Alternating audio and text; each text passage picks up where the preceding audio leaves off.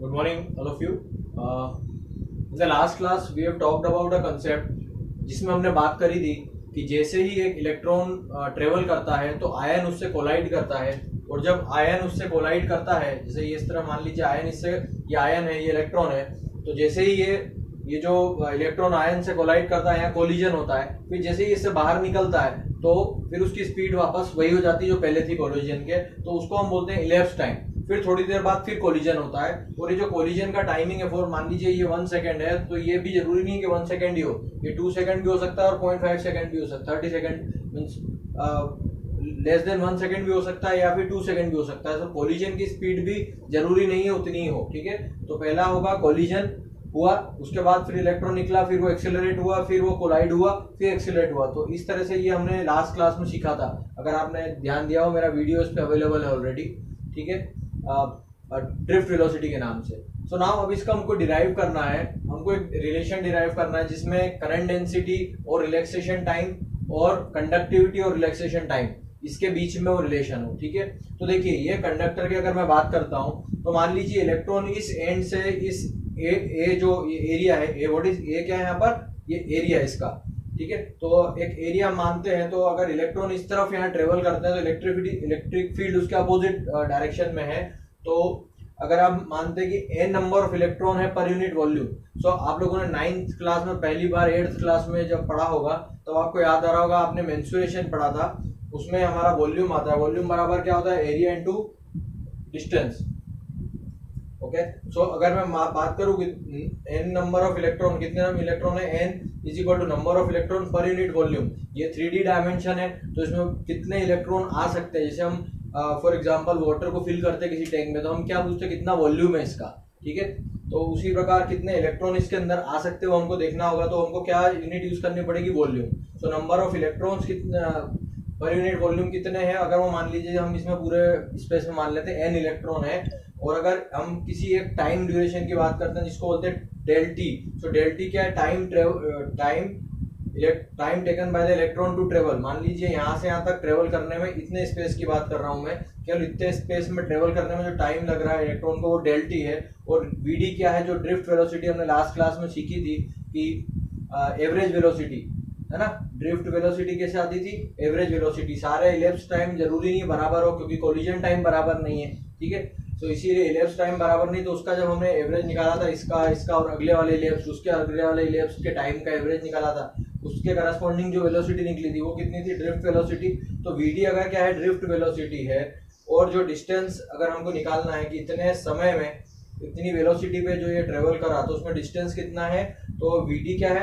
हमारी velocity into time जो time travel travel करा उसने तो डिस्टेंस हमारे पास हो जाएगा कितना डिस्टेंस उसने ट्रेवल करा। फॉर एग्जांपल यहाँ से यहाँ तक की बात, अगर मैं बात करता हूँ, अगर इस इतने एरिया की बात करता हूँ तो ये डिस्टेंस हो गया जितना उसने ट्रेवल करा। अब देखिए, अब हमने पहले क्या बात करी है कि N number of electrons N number of electrons जो है, वो पर यूनिट वॉल्यूम है। ठीक है? तो हमको सिलेंडर का सिलेंड्रिकल शेप में दिख रहा है आपको। तो इसका वॉल्यूम निकालने के लिए हमको क्या करना पड़ेगा? एन में अगर जो कि क्या है अगर मैं N number of electron per unit volume इसमें अगर मैं वॉल्यूम का मल्टीप्लाई कर दूँ तो नंबर ऑफ़ इलेक्ट्रॉन्स आ जाएँगे। तो टोटल इलेक्ट्रॉन्स क्या हो जाएँगे? एन इंटू वी वी क्या है वहाँ पर? वॉल्यूम तो वॉल्यूम बराबर क्या होता है? Area into area into distance अब देखिए कितना डिस्टेंस ट्रेवल करा इसने? तो वो हम कैसे निकालेंगे? वी डी इंटू टी तो डिस्टेंस की जगह हमने लिख दिया। अब एरिया वैसा का वैसा लिख दिया। सो टोटल इलेक्ट्रॉन्स कैसे निकले हमारे? Number of electron into volume, ठीक है? सो आई होप यहाँ तक सबको समझ में आया कि यहाँ तक हम कैसे पहुँचे, ठीक है? अब मान लीजिए कि हर इलेक्ट्रॉन का चार्ज कितना है? माइनस क्यू तो हर एक व्यक्ति के पास एक लाख रुपए है तो अगर दस लोगों का हमका अमाउंट निकालना है तो कितना होगा? दस लाख रुपए.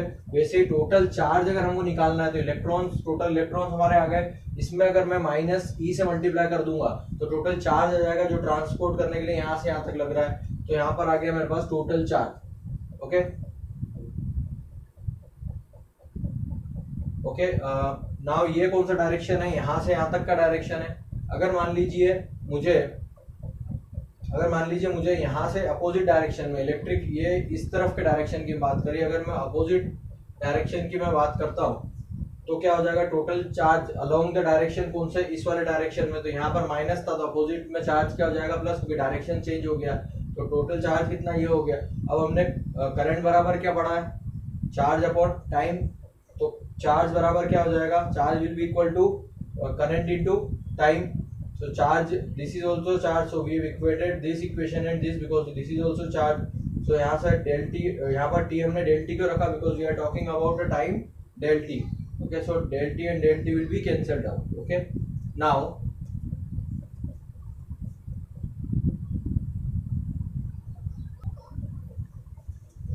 now अगर आप जो मेरा पहला, इसके पहला वाला वीडियो है, जो मैंने ड्रिफ्ट वेलोसिटी का शेयर करा है, उसमें अगर आप देखेंगे तो हमने ये इक्वेशन डिराइव करी है। सो अब हम क्या करने वाले हैं? जो हमारे यहाँ पर ये इक्वेशन निकली है, इसमें हम ड्रिफ्ट वेलोसिटी की वैल्यू पुट करेंगे। ये जो हमने इक्वेशन निकाली है, इसमें हम ड्रिफ्ट वेलोसिटी की वैल्यू यहाँ से पुट करेंगे। तो अगर आप इस जगह पर ये वैल्यू रखोगे तो ये इस तरह से कुछ दिखेगा। ठीक है तो अभी हम इसको इक्वेशन नंबर टू नाम दे देते हैं। अब जे बराबर क्या होता है? Current density I by A तो आई की वैल्यू क्या हो जाएगी? जे इंटू ए सो जो यहाँ पर आई है, इस आई की जगह हम क्या वैल्यू रखेंगे? J into A so will be putting the value J into A here ठीक है? तो यहाँ पर हमने ये वैल्यू रखी. नाउ आप देखिए डेल टी से डेल टी कैंसिल हो जाएगा. इस वाली इक्वेशन में अगर आप ये वैल्यू आप इधर रखेंगे, इस वाली इक्वेशन में तो डेल टी से डेल टी कैंसिल हो जाएगा ए से ए कैंसिल हो जाएगा तो जे बराबर क्या बचेगा? E square N E into T upon M यहाँ तक आपको क्लियर है? तो ये एक इक्वेशन हम डिराइव करना चाहते थे, जो बहुत बहुत बहुत इंपॉर्टेंट आने वाली है काम आपको twelfth J double E NEET तीनों ठीक है?